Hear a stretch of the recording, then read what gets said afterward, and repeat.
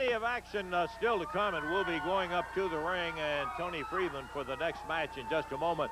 Big crowd on hand today, and we hope maybe that one of these days you're going to take time to write in for the tickets, and we'd look forward to having you come. Tickets free. Just be sure you get in there and follow it. We'll get to that uh, hopefully before the day is over with. And here comes the Truth Commission.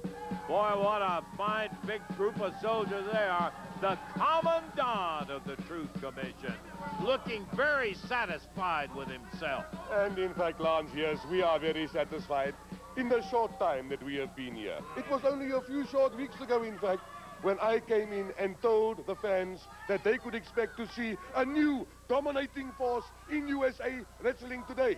And here we are, the new tag team title holders. We have proved that we are the superior dominating force in wrestling today. We intend to take these belts back to Africa with us and in fact the fans today will be treated to video footage of that glorious victory when we took that tag team title.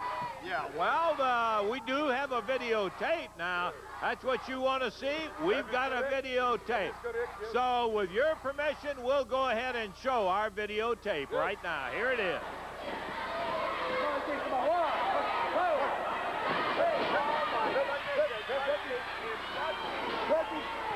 This is a tape. Gee, they got the wrong tape there, Commandant. This is uh, Tank in there with Jerry the King Lawler wrestling for the unified title.